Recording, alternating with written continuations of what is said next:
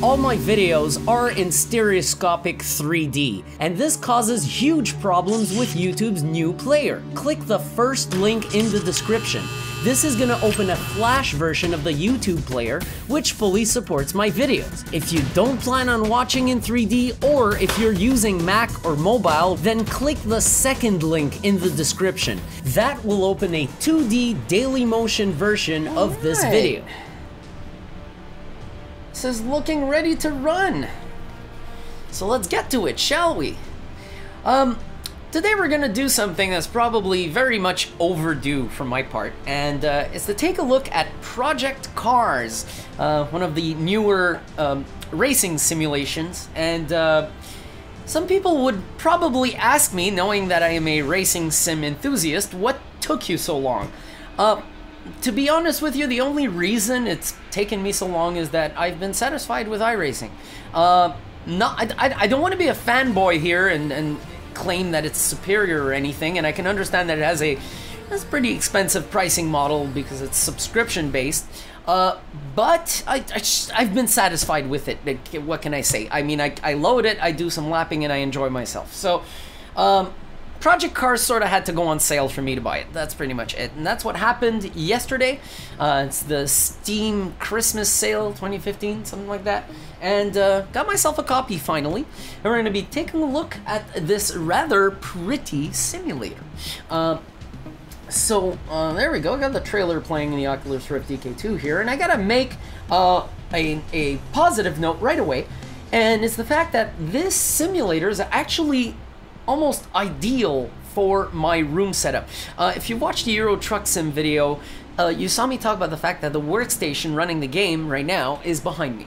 And uh, the keyboard and the mouse is all behind me. Over here, I have a mouse, but that's all I got. I only have the Oculus Rift, the GT uh, driving force, the Driving Force GT, and my motion tracker. I got my microphone to my right and the camera over there, and that's it. There's no workstation on on this table.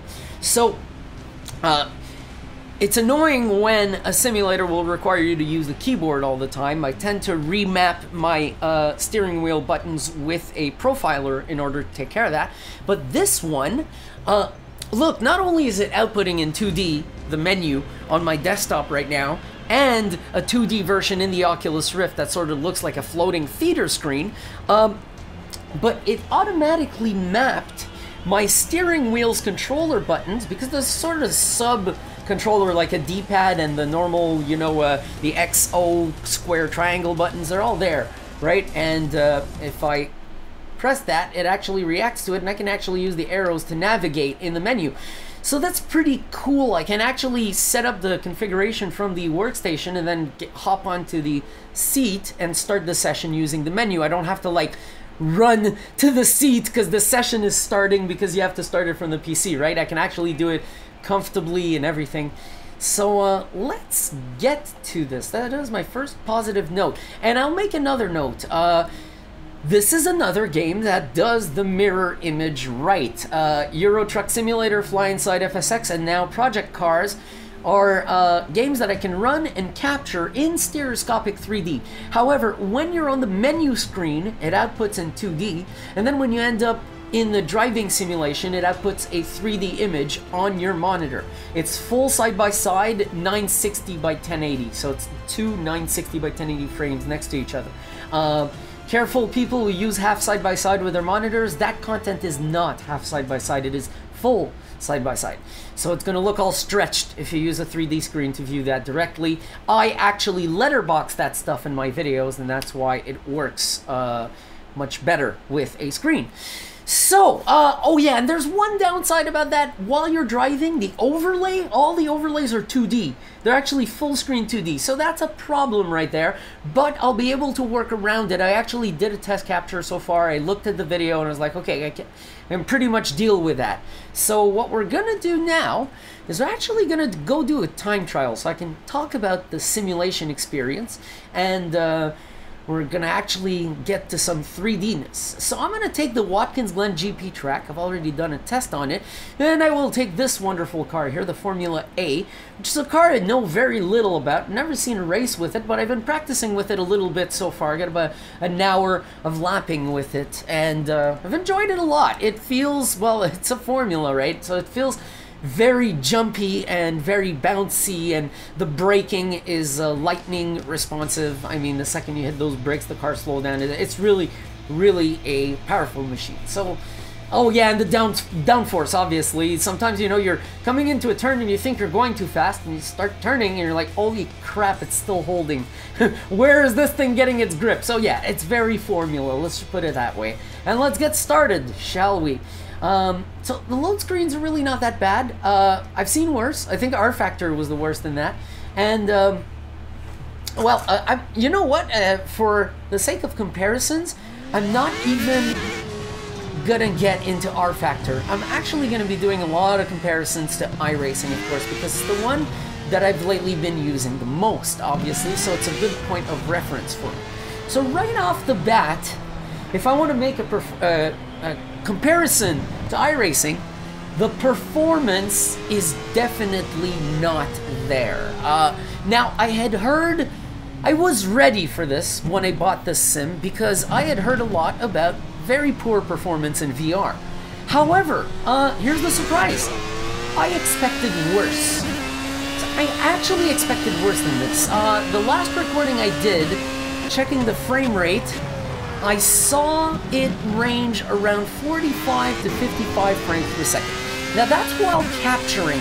Uh, of course, the oxymoron here is that if I want to record the frame rate that I'm getting, I have to actually record the video of the game. So I right now can't look at the frame rate while I'm driving. So I can't tell you when it's not recording what it is, but it's probably higher by about 10 frames per second. Uh, an another issue that I could say I had with the the sim right out of the box is the volume. It is much too loud. I actually had to twice. I I mean, uh, uh, like I just stopped the car dead in its tracks and reached for the volume knob on my sound system. I even lowered the volume in the menu, in the Sims menu, and like I'm down to 60% on the master volume, and even that didn't help. So, um, something weird over there going on with their volume setting. Oops, that second gear there. Weird. Don't want to hit that inside bumper. I'm trying to talk at the same time as I'm doing a fast lap It's kind of difficult. Um, so, put aside the performance issue that I've now pretty much detailed. I mean, to tell you the frame rate it's running at, I did lower a few of the effects because I found that the game was struggling even more in areas with lots, lots of objects, like the fences, the people, the trucks, all the little buildings. Uh, there's there's some sort of effect that I turned off. I turned off a few. I don't know which one was causing it. There's an effect on those particular assets that seems to be very costly in frame rate, and that really helped. Right now, it's I think syncing at half rate, so it's 45 or something, and uh, sometimes it goes just a little bit above because there's much less objects in view. Uh, if there was an option to turn off a lot of these objects, I really wouldn't mind the change in scenery if it's going to give me 10, 15 frames per second more. But now, here's, let's get to some positive here. Uh, this is a pretty good racing simulation. I gotta give it to them. Uh, for what it has to be, this is pretty good. The only reason why I'd say it may be inferior to iRacing in terms of driving is for two reasons. Obviously, iRacing with the price they charge, they can afford to go laser scan the track. So that changes things a lot, but that's just one element. The other element is performance. Uh, the performance directly affects your simulation quality because while your system is delivering images one by one to the device you're using, right now my Oculus Rift or monitor or whatever, um, it's also at that moment doing all the calculations, the physics, and all that shit. And unless it's a special sim that does that separately, um, the number of times per second that everything is recalculated in terms of physics will equal your frame rate. So, the lower the frame rate, the less accurate the calculations.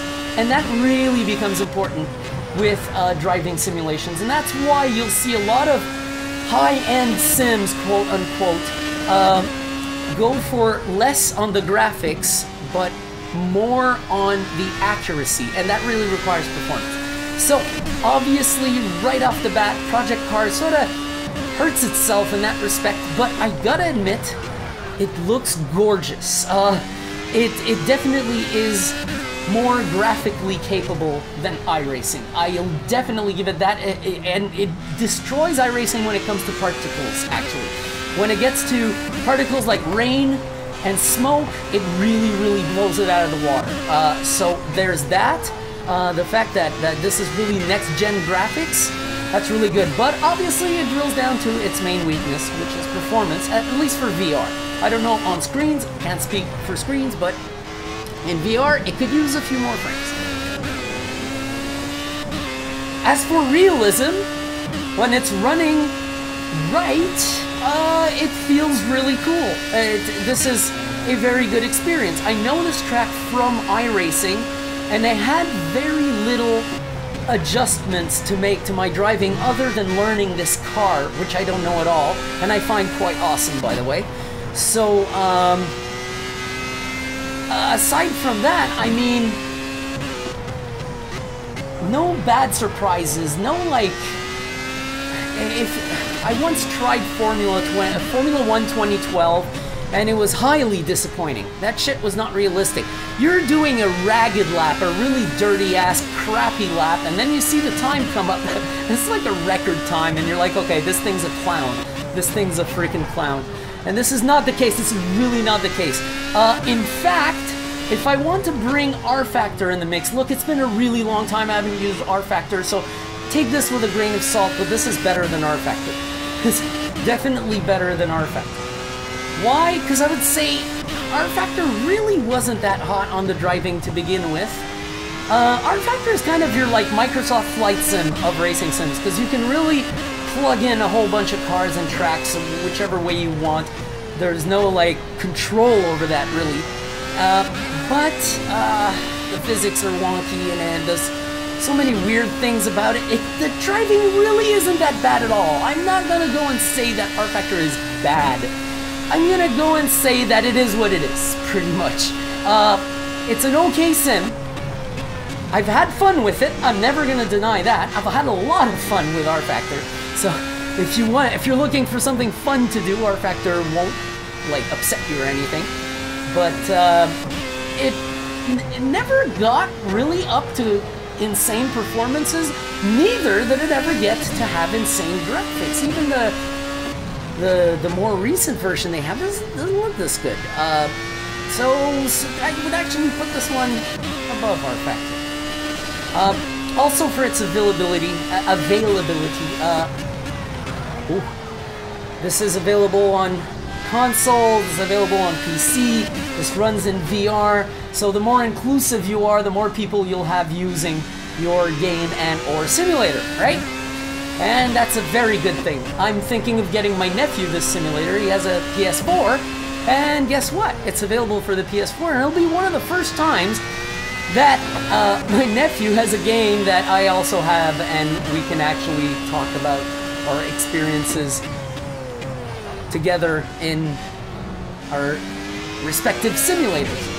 I even got him a Thrustmaster racing wheel so that he has fun with that. Uh, oh! Alright, I expected a harder crash than that, but I was at the beginning of the uphill. So uh, I'm gonna go ahead and park the I guess that's my cue to go ahead and park the car. What's my time here? 127, 627. Ordinary. I think it did faster earlier. Um, ordinary. I was talking the whole time. I didn't actually try to get to a fast lap, and now I believe I've destroyed the car. Uh, I'm gonna actually get myself ready to do a little solo race because one thing that iRacing doesn't have that uh, has made me a little lonely on the lapping side is the fact that it doesn't have any AI. So you can't really practice race. You have to go out there in the wild, and the drivers are pretty damn good. So you've got to be in in good driving shape. And uh, this has AI, so this I will probably appreciate. I'll probably use it mostly to race with AI and get a little experience and confidence built up so that I can then actually go and race in iRacing with people. All right, here we go. Let's do, let's do a quick one.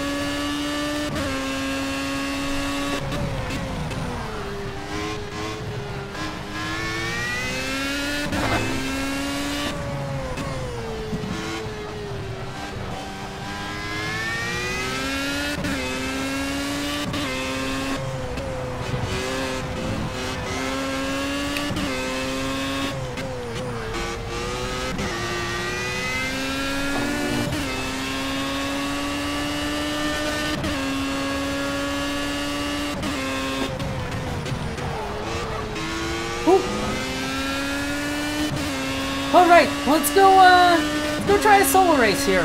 Uh, having a lot of fun. When you hear me go silent in a racing simulator, it means that I'm actually having fun. And there we go. There goes my brakes. I did three fast laps there. Forget it. Uh, this is something you can't do during a race, by the way. Drive like that because the, the the brakes will last you two, three laps, so you'll go faster than you would in a race. Now let's see what I did here. See what I did. There we go, 125.4, much better, two seconds faster than what I was doing while I was talking.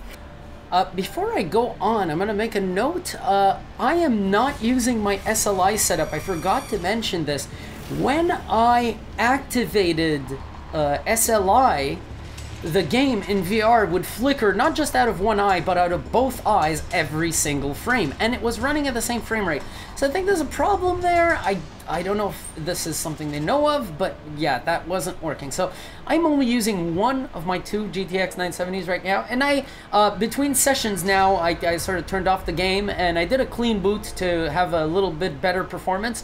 And I also turned on the overclocking on my card. See if that brings it up. I'll only know after the recording. In fact, let me make sure I am recording. Only I know after the recording if it's having any effect. If you see the thing going above 55, then it did its work. Alright, so here goes nothing, and I struggle with standing starts, so wish me luck.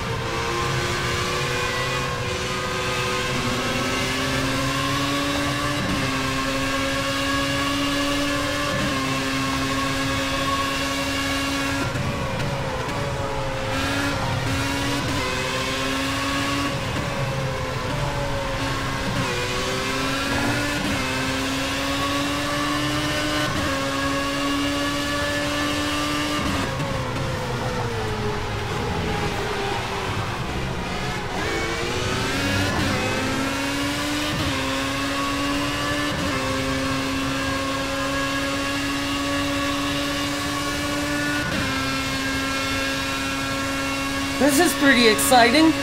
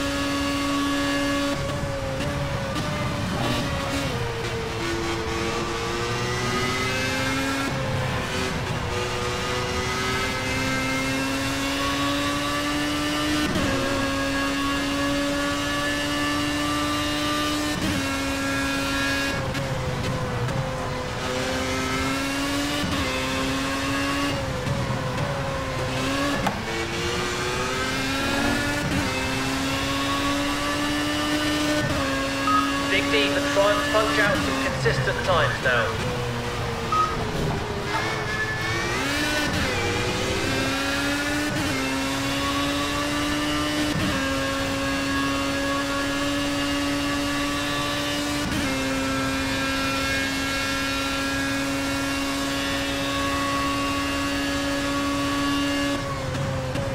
The driver in front extended his gap to three seconds, but he's still got the pace to catch him, so keep the pressure on.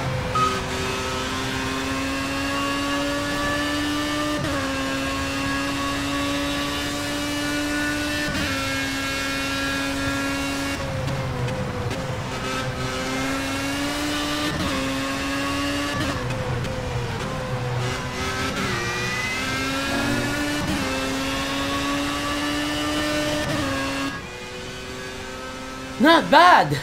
Wow. That uh, was exhausting. Where am I? Um, fifth. Okay, not too bad. Five seconds away from the leader. Is that what it says? One, one, one. Oh, so that was a leading group, right? Uh, okay, so I basically kept up with everybody. It shot a pretty bad start. Uh, I still struggle with those damn starts, and then obviously, because you get into a scuffle, you get fucking caught up in the action the first few laps. Um, it was really hard to juggle there. I think my pass on that sixth guy was pretty awesome, and I thought he was in my bumper, but it turns out he was three seconds behind me. A whole bunch of camera options. There we go. Oh, yuck! They're using camera orbit in VR. And this is a lot like iRacing here, so that there's no camera orbit here, but the camera does pan. Um, wow. That really does look like Watkins Glen. I'll give it that uh, to Project Cars because of its uh, graphical fidelity. Oh, wow. The guy was going off on the grass there and shit. because of the graphical fidelity, um, the replays look awesome, obviously. Uh, but I'm getting pretty poor frame rate here and there. I, I can feel the jitter when I move my head, especially. That's where you'll mostly notice. There we go. I was trying to chop that guy off because I knew he wasn't fast enough. And he kept trying to get back at me. Dude, you're slower. Get the fuck out of my way. I fucked up my start. I need to catch up here. This is pretty hard to do. The other guy was actually much harder to pass. Although it might have looked like I did it quicker, the other guy was much harder to pass. Let me see this. I oh Christ! Oh shit! I thought he's the one who had bumped behind me, but what? Oh fuck! Now my only complaint with the AI, I tried this earlier with a larger field, with more cars on the track, uh, with fewer laps, and you tend to have a sort of because it's all basically the same code running the cars, there's probably some variation, obviously, from car to car to make it look like they're all different drivers. But it's not that strong, so you end up with a very uh, agglomerated pack. Nobody really falls behind, unless, I guess, unless you turn on a longer race, but after the start, it was oddly packed up for the three, four laps that I tried. Uh, I'm, I'm, not talking about this race, an earlier one where I did with 19 cars. Uh, was oddly packed the whole time. Uh, whereas, um, you know, that's the kind of behavior you're going to see on an oval because, oh, and that's, this is one of the things I wanted to mention. One of the things I find that lacks in this simulator, and I really wish it had it because it has AI and it would be so awesome, is a freaking oval track. Just if, if, if, just Indy just put like Indianapolis on top of that has an actual road course in the middle. So it would make a lot of simmers happy to have the entire facility in this simulator because then you could do some really screwed up fantasy racing and take Formula Ones and use the AI and go and race on the Indianapolis Oval with you, you, see, you could do a whole bunch of combinations like that. You can already do that with iRacing, but there's no AI, which is where I find this has a plus in that respect. I was worried that the AI would actually tank during this session, demand more, and it did not. So the performance was identical with the AI. There was only six cars though, so I didn't go with a very large field, but still, uh, even with six cars, I do remember rFactor would perform a little less well. And uh, when you race online with iRacing, obviously, the more there are cars, the lesser the performance will be. Now, it never actually hits a point where it goes under 75, though, if you're not recording. So the, it still leads in that respect. Uh, and I would say that for VR, iRacing remains the number one choice, in my opinion. However, if you're not ready for the monthly subscription, look, there's a lot of there's a lot of negative talk about iRacing that's not necessarily correct. For instance, they say like they'll make you buy the tracks and the cars. Well, it's the same thing for Project Cars, really, because there's add-on packs. So it's in that respect, it's no difference. Much less expensive. I'll agree with that. It's much, much, much less expensive. However, uh, the only real core difference here is the monthly subscription, which I will fully agree ends up costing a lot. Unless you get a special or something, I do recommend anyone who owns Project Cars and not iRacing and uses virtual reality to try iRacing for like just a month and just use the default tracks and cars. You probably won't really want to jump on any of the paid for cars unless there's like one in particular you like. And in my case i really like indy motor speedway so i got that one. Uh, there's a few tracks like that that i got so it really depends on your choice but you can do a lot with what they give you out of the box. When it comes to project cars if you own iRacing and don't have project cars it is something that I recommend adding to your library if you see it on sale. Uh, if you have no simulation experience whatsoever and you own a DK2 and you got a racing wheel, get Project Cars first. Uh, it's much better for entry level uh, because iRacing is more of an investment. So if you want to check if you like racing simulators, you own the hardware and you're not sure yet, Project Cars is a great choice. Um, there's one I'm leaving out here because I've never tried it before, and that would be Assetto Corsa. So um, don't take my full word for it. There's one of the three big ones that I haven't tried, and I probably will eventually get to it. I know it's on sale right now. Um, I'll, I'll decide. I might wait till another sale. I'm not sure. So thanks for watching Stereo 3D Productions. I hope you enjoyed this video of Project Cars. And, uh, well, that's it. I'm gonna revisit Fly Inside FSX. If I don't do it before New Year's, well, Merry Christmas and Happy New Year's. Um, but I may get it done maybe today. I'm not sure. Anyways, we'll we'll we'll see because it, it definitely warrants a revisiting, just like Euro Truck Simulator. All right, so I'll see you folks around. Thanks for watching. Folks, it's time for a little bonus here. Um, little bonus because there's another track that I think is really cool here. Uh, I don't know if they put it under M. Yep, Mazda Raceway Laguna Seca, the leg legendary IndyCar track. Now, pretty sure that there are no IndyCars in this simulator. Something I would love to see, but I do find, oddly enough, the Formula A to be very similar. So I'm gonna go ahead and try to clock a time on it. Feel free to stop watching this video, really. I'm done with the first impressions. Uh, this is just some bonus footage of me going around this track. So we're gonna call that a warm-up lap and completely forget what just happened. Let's get started with some real lapping. So bonus footage, enjoy people.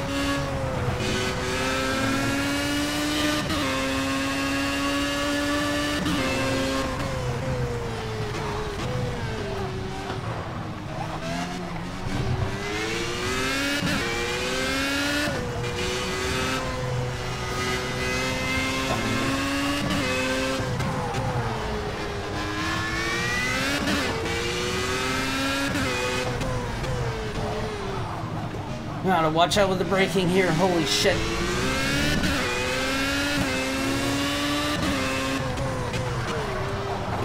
Damn it! Oh! I'm continuing!